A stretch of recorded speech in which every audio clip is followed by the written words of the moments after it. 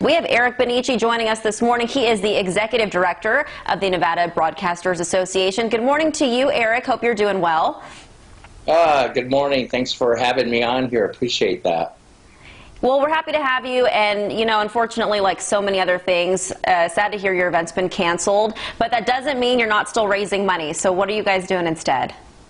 Yeah, as as we were talking, you know, COVID nineteen has uh, stricken the world everybody worldwide. And unfortunately, our event was canceled, our Hall of Fame gala. So what we are doing is um, we're hoping to raise money through our education fund drive because we still um, are awarding scholarships this year. In fact, uh, this year we have awarded 17 full tuition scholarships to talented and dedicated students of broadcasting which um, totals about $120,000 in tuition funding the Tony and Linda Benici Scholarship Fund will award this year alone.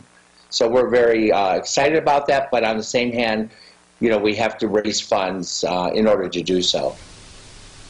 Absolutely. And wow, $120,000. That's incredible. How many years have you been awarding these scholarships now, Eric?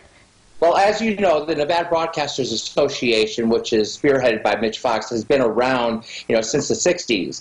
However, nine years ago, the Nevada Broadcasters started a foundation, and they named it after my family, the Tony and Linda Benici Scholarship Fund.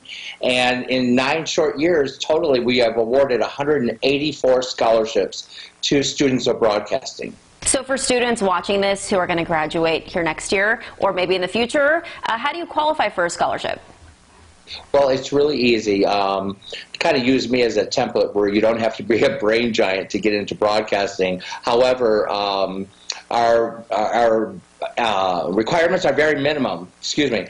Uh, we require a 2.7 GPA and a broadcast focus in your uh, curriculum.